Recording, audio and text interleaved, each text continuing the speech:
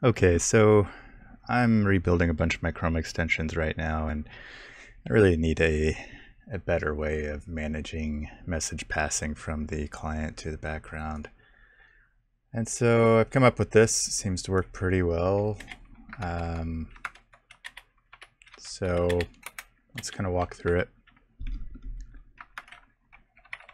So here we have this async function, request from background we will pass through whatever message we're wanting to send to the background here. And then we are going to create a promise.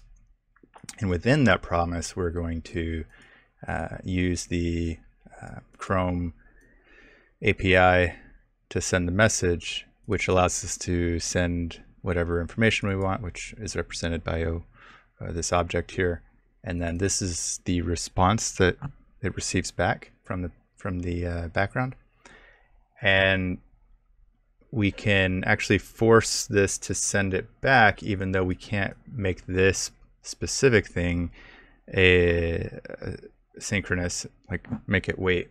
We can this will implicitly wait for this response here and then we can resolve that response to come back to this promise here as its argument right?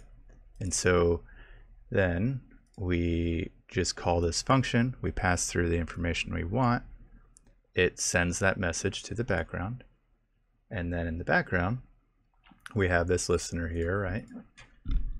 And it receives the message. We pass the message to a function that performs whatever it is that we're wanting it to do, and then returns the information back. And we can use the then syntax here, like to say, you know, here's the message. It was an async function. And then we want to run the response, which is just sending back whatever data came back in this function, which in this case will be just, you know, some random message I sent through here. So let's give it a test. Um, so I'm just going to pull up the console so you can see it, and then we'll hit refresh and it should come back. There we go, the information we were looking for. So now I need to implement this across all of my scripts. Pretty handy. I'll be using this a lot. I need to kind of think through what I want to do here for managing the requests, but you know, that's going to be specific to whatever it is I'm working on. But I thought I'd share. Um, pretty handy. All right, take it easy.